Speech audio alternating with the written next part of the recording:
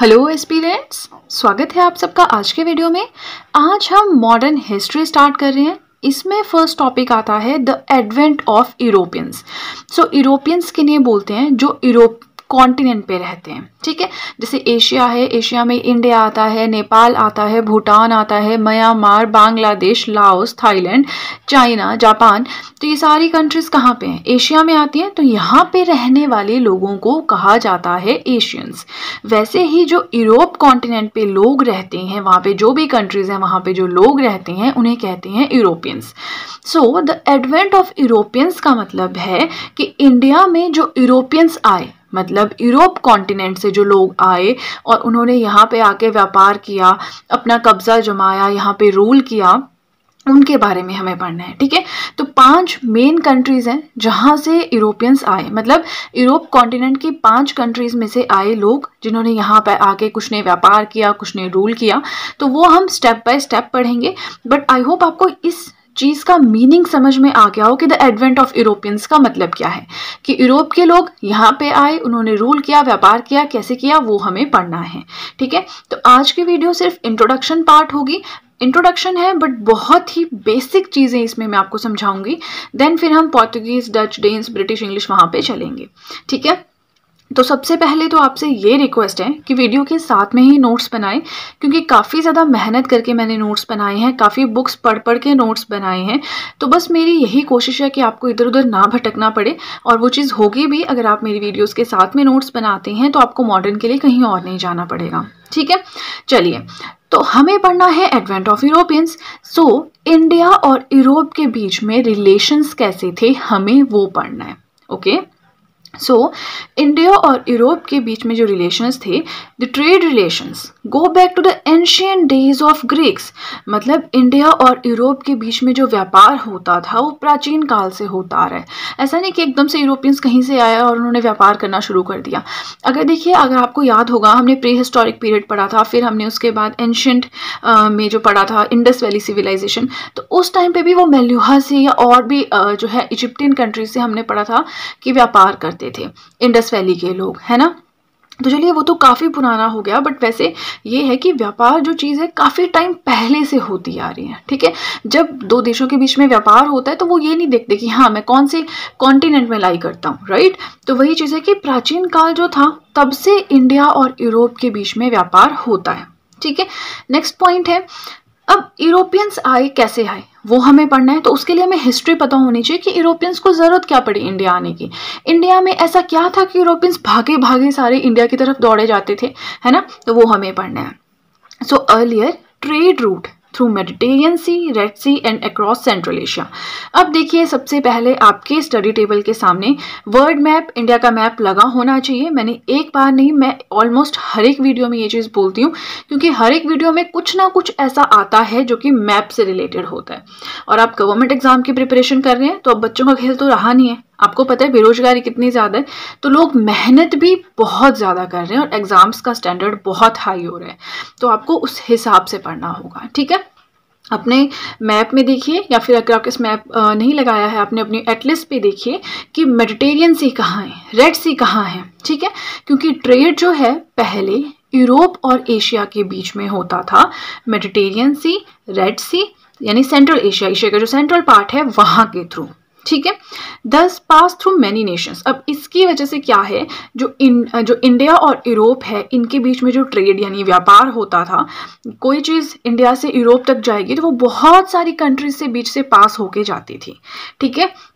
अब कोई चीज़ एक जगह से दूसरी जगह जाएगी, अगर वो बीच में बहुत सारे लोगों से पास होके जाएगी तो वहाँ हर्डल्स भी आएँगी ऑब्स्टेकल्स भी आएँगी, बाधाएँ भी आएँगी। अब बाधाएँ किस तरह की? पायरेट्स पायरेट्स होते हैं समुद्री लुटेरे।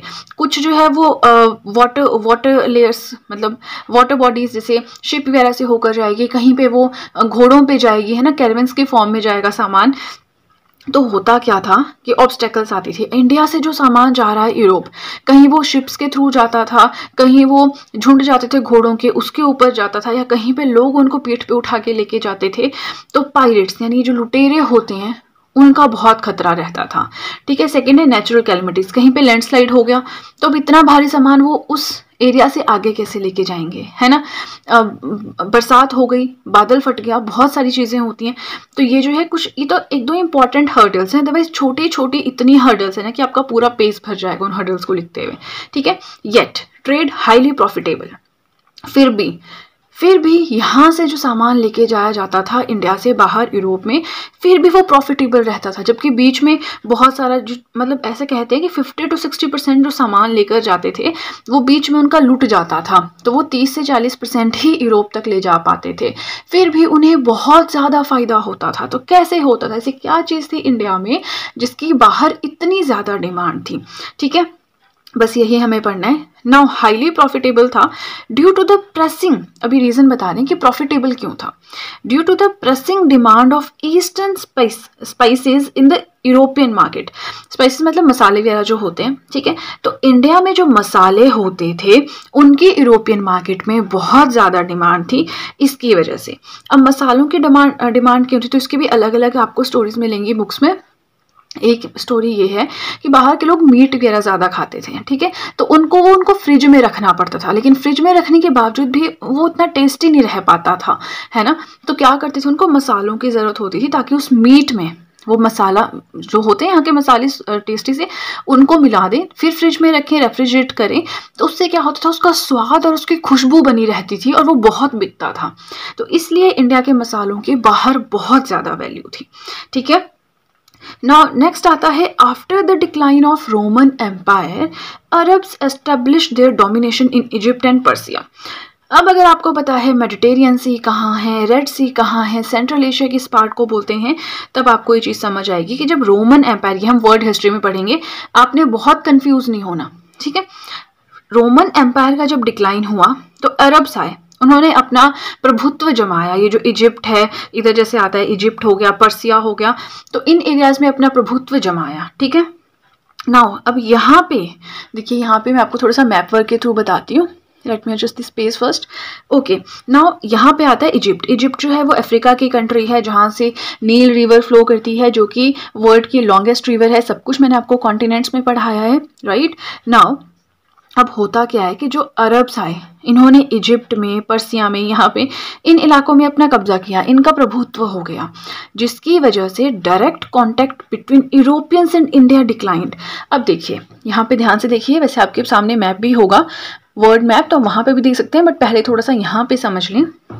यह है आपका अफ्रीका, यह है आपका यूरोपियन पार्ट या है आपका एशिया ठीक है? तो पहले जो व्यापार होता था, जैसे ये लिस्बोन है, या लिस्बन आप कहिए, पोर्तुगल की कैपिटल, पुर्तगाली सबसे पहले आए थे। तो यहाँ से वो लोग आते थे, व्यापार करते थे। यहाँ देखिए थोड़ा सा शिप के थ्रू आएँगे थोड़ा सा लैंड के थ्रू आएँगे, फिर शिप के थ्रू आएँगे इंडिया पहुँचेंगे सामान खरीदेंगे और फिर वापस जाएँगे। ठीक है? ना होता क्या था? डायरेक्ट कांटेक्ट था, यहाँ से आए, यहाँ से आए, लेकिन बीच में हर्डल्स आती थी। कहीं किसी को पैसे देने पड़ रहे हैं, कहीं को घूस खिलानी पड़ रही है, कोई इनको लूट ले रहे हैं, कहीं पे नेचुरल कैलिमिटी आ रही है है ना? तो बहुत ज़्यादा हर्डल्स रहती थी, जिसकी वजह से यहाँ से अगर सौ चीज़ें लेके जाएँगे तो यहाँ बीस से तीस, चालीस इतनी ही पहुँचती थी, ठीक है? फिर भी इनको प्रॉफिट होता था। तो सोचिए इंडिया की चीज़ की कितनी ज़्यादा वैल्यू थी वहाँ पर बट यहाँ पे आ गए अरब्स अब इनका जो डायरेक्ट रूट था, ये टूट गया। क्योंकि यहाँ पे जाएँगे अरब्स के थ्रू तो वो मन मांगी, पैसे वसूल करेंगे, है ना? तो इनको लॉस होने लगा। तो अब हुआ क्या कि यहाँ से हम पढ़ते ना, वास्को डिगामा सबसे पहले भारत आए चौदह में। पढ़ा होगा आपने स्कूल्स में भी? वही चीज़ है, वास्को डिगामा ने क्या किया? अलग रास्ता अपनाया। उन्होंने इस तरह से जो ब्लैक वाला रूट है ना, ये अपनाया और डायरेक्ट वो पहुँच गए इंडिया। इससे क्या हुआ? अपनी मर्ज़ी के मालिक हैं। ठीक है, टाइम बेशक लगेगा, लेकिन किसी को पैसे नहीं देने होंगे। जितना मर्ज़ी सामान चाहे शिप के थ्रू यहाँ से पोर्तुगल यानी पुर्तगाल ले जा सकते थे। नाउ ऐसी कौन सी चीज़ें हैं जिसकी बहुत ज़्यादा डिमांड थी यूरोप में? ये तो पोर्तुगल तो कंट्री है जिसके बारे में भी हम आज की वीडियो में थोड़ा सा और पढ़ेंगे।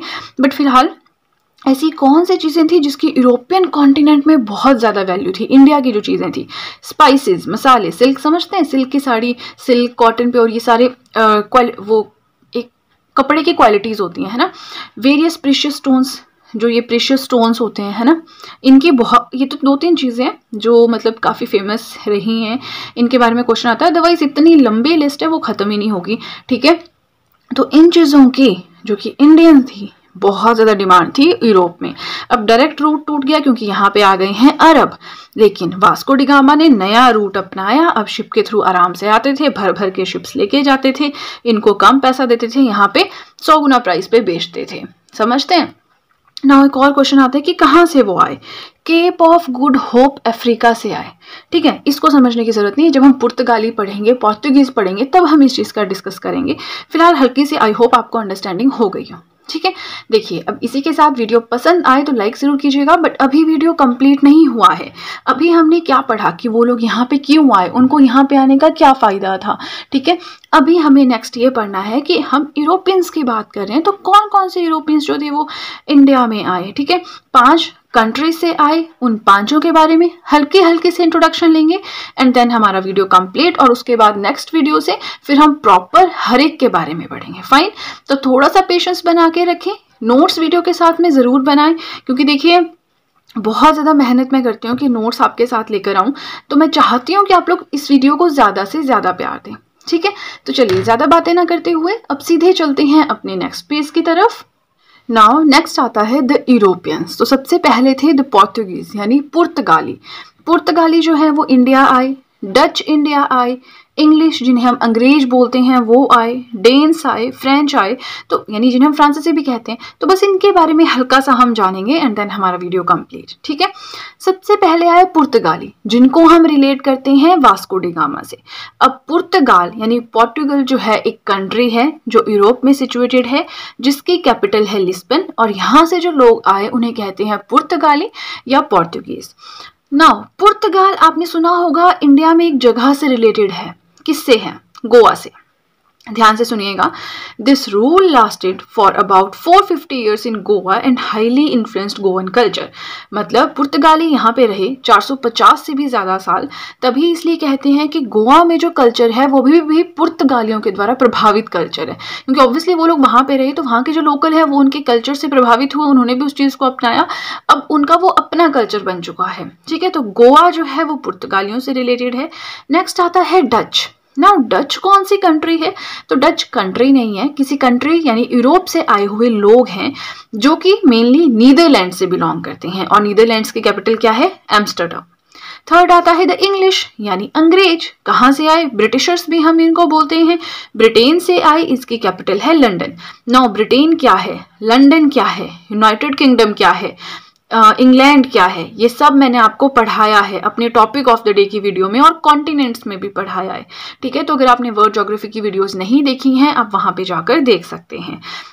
नेक्स्ट आता है डेन्स डेन्स होते हैं वो लोग जो डेनमार्क से आए और डेनमार्क की कैपिटल है कॉपेगन ठीक है? Last but not the least वैसे सीक्वेंस ये नहीं है। सीक्वेंस में हम आगे पढ़ेंगे वो तो आपको जैसे ईयर्स का मेंशन होगा, आप खुद ही समझ जाएँगे। लास्ट में हम पढ़ते हैं फ्रेंच यानी फ्रांसीसियों के बारे में, जो कि फ्रांस से आए। फ्रांस की कैपिटल पेरिस है। और जो फ्रांस है, वो पुडुचेरी से रिलेटेड है। पुडुचेरी क्या है? हमारी यूनाइटेड सॉरी हमारी यूनियन टेरिटरी है। ठीक है, केंद्र शासित प्रदेश है। और जो पुडुचेरी है, वो फ्रांसीसियों से रिलेटेड है, क्योंकि फ्रांसीसियों ने यानी फ्रेंच जो थे, उन्होंने 280 ईयर्स तक यहाँ पे रूल किया था। ठीक है? चलिए, बस आज की वीडियो में हमें इतना ही पढ़ना था। ये तो मैंने आपको बिल्कुल हल्का सा बेसिक सी अंडरस्टैंडिंग दे दी कि हमें पढ़ना क्या है। अब आगे जो भी वीडियोस आएँगे, उसमें पुर्तगालियों की अलग वीडियो होगी, डच की इंग्लिश की डेंस की फ्रेंच की, सबकी अलग वीडियोस होंगी, ठीक है? तो मैं कोशिश करूँगी कि दस मिनट से ज़्यादा वीडियो ना बने। आज की वीडियो ये वीडियो समझानी आपको ज़रूरत है कि यूरोपियंस को आने की ज़रूरत क्यों पड़ी, है ना? उनको पैसा चाहिए था, पैसे के लिए उनको प्रोडक्ट चाहिए था, जो बेचना है, वो प्रोडक्ट उनको इंडिया में मिल रहा था, ठीक है? चलिए आई होप आपको समझ आया हो, जो भी मैंने आपको समझाया है। और अगर आपको वीडियो अच्छी लगी है, तब तो आपको बहुत ही ज़्यादा अच्छे से पता है कि क्या करना है। जल्दी से कर दीजिए, चैनल को सब्सक्राइब, बेल आइकन को कीजिए, प्रेस सो दैट मैं जैसे कोई वीडियो अपलोड करूँ, सबसे पहले नोटिफिकेशन आपके पास पहुँचे। प्लस जो भी आपके फ्रेंड्स हैं, जो भी गवर्नमेंट एग्जामिनेशन के लिए प्रिपेयर कर रहे हैं, उनके साथ भी मेरे चैनल का लिंक ज़रूर शेयर करें so that in handwritten notes का उन्हें भी कुछ फ़ायदा हो सके। तो चलिए फ्रेंड्स आज के लिए इतना ही। अब हम मिलेंगे नेक्स्ट वीडियो में। So that's it and see you soon